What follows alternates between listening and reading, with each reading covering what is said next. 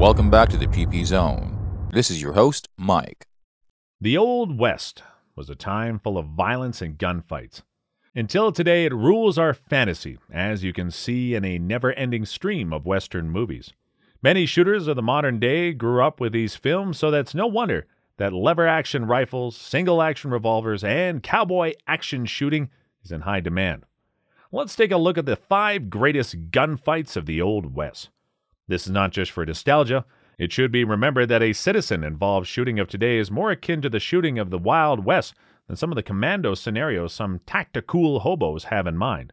Granted, the scale might be smaller than these great gunfights, but in the end, the one who draws and shoots faster and also hits wins. The great fight between Wild Bill Hickok and Dave Tutt on July 21, 1865, on the town square of Springfield, Missouri. Dave Tutt was a gambler. As such, you can imagine his activity with James Butler Hickok, also known as Wild Bill Hickok. Tutt had more luck in the card game they were playing. At the end of his money, Hickok bet his watch. Again, Tutt won again. Hickok, and most probably other fighters of the day, was a rather sore loser. As such, he did not only get angry, he also warned Tutt if the new owner of the watch would so much as only look at it, Hickok would kill him. Tutt was not a shy person, did not care about the warning.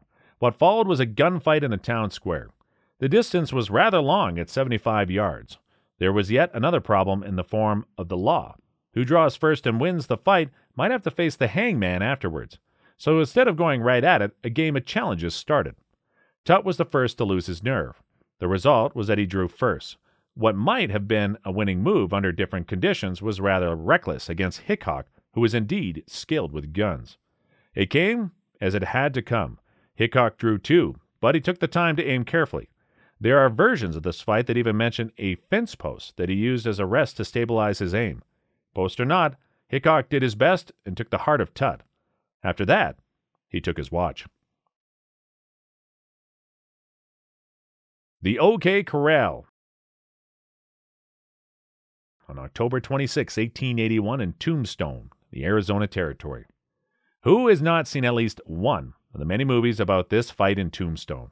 The shootout itself took just 30 seconds and happened between lawmen who were led by Virgil Earp and a group of outlaws, just called the Cowboys. The gunfight broke out because of a feud between some of the lawmen and some cowboys. At the start, there were four lawmen against six cowboys. The distance between both groups was just six to ten feet. The lawmen did not expect to fight and kept some of their weapons concealed. On the other side, the cowboys were close to their horses with rifles on their scabbards, and themselves wore belts with revolvers. Virgil, as the leader of the lawmen, challenged the cowboys and ordered them to get their hands up so they could be disarmed. Immediately, the cowboys drew their guns and cocked. Virgil ordered them to stop, saying he did not want that. Then the shooting started. Who fired the first shot is contested, as all was over in 30 seconds. In that short time, 30 rounds were fired. What made the confusion worse is the fact that guns of the day used black powder, what produced quite some smoke, making any kind of observation increasingly difficult. On that day, three men died, and several more were wounded. The Frisco Shootout of December 1, 1884, on the lower San Francisco Plaza in New Mexico. Elfego Baca is a central protagonist of this great fight. There is a sculpture showing him in the center of reserve in New Mexico to commemorate the great Frisco shootout. The plaque on the sculpture quotes him as saying Texans that he's not afraid of American cowboys. Baca was the sheriff of a town, a position to which he had appointed himself. He wanted to arrest a cowboy, what turned out badly. Not only started said cowboy to shoot at him, he also got some help from 80 of his friends. Widely outnumbered and outgunned, Baca was not the kind of guy to just give up. Instead, he took refuge in an adobe house and planned to defend himself as long as necessary. What followed was a siege that lasted 36 hours. The Cowboys fired allegedly 4,000 rounds at the house, of which 400 put holes into it. No round hit Baca. Not shy about his firepower, Baca did not stop himself from firing back. His aim was much better, affording him four kills and a further eight wounded attackers. Unbelievably, Baca managed to survive and died in his bed in the year 1945 at the age of 80. How was that possible? His attackers fired away until they had no ammo left. That was the signal for Baca to stroll out of his refuge totally unscathed. After that, he went on with his career as a lawyer and legislator. The gunfight between Luke Short and long haired Jim Courtright on, on February 8, 1887, on Main Street, Fort Worth, Texas. Typically, gunfights did neither last long nor take place over a long distance. So, was also this fight a rather close affair.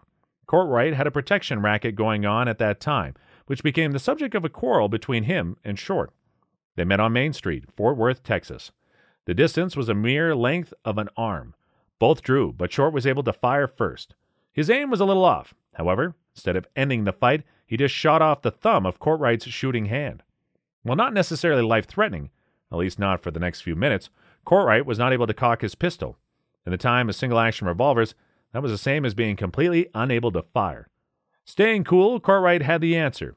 He swiftly threw his gun into his other hand, a maneuver called border shift. While itself an act of bravery or maybe a desperation, it was to no avail. Short, undeterred by the problem of his opponent, cocked his gun again and shot again. Without the danger of getting hit himself at any moment, he took careful aim so that Courtright had no chance. The Harry Tracy Pursuit of 1902. Actually, the Harry Tracy Pursuit was more of a running gun battle than a stationary event. Creston, Washington is not the location it just happened, but the place it ended. It took two months for the law officers of Oregon and Washington to finally win over Harry Tracy. It all started on June 9, 1902, in the Oregon State Penitentiary. On that very day, Tracy managed to escape. While doing so, he killed six people. Three of them were correction officers, and three more were civilians. What followed was a manhunt that can only be described as massive. Tracy was skilled enough, or maybe lucky enough, to evade his pursuers for a month. Then he decided that it was time to do something. What he had in mind was an ambush near Bothell, Washington. When he sprang the ambush, he managed to take down two more lawmen. Not enough. He also took hostages and ran again. This brought about another shootout, by now number three, in which he killed two of his pursuers. This did not deter the posse from coming after him. Quite the contrary, the effort to finally get him was even more increased, leading to the final battle on August 6 near Creston, Washington. Tracy found himself cornered and unable to escape or shoot his way to freedom. Determined not to be captured again, he turned his gun on himself and took his own life. What made Tracy go on and on without even thinking of surrender was, according to some historians, the fact that he could be described as totally crazy. A fight, with all the stress and emotions it comes with, did not put him under pressure. He actually enjoyed it so that he never made the kind of mistake any other person would surely have made in such a situation. During his fight, he liked to use a 30 30 lever action rifle in a real Western tradition. With it, he got quite some firepower for each round, but also a good rate of fire compared to other guns of its time. There you have it, the greatest gunfights of the Wild West. It's interesting to study them, and one or two lessons can be drawn.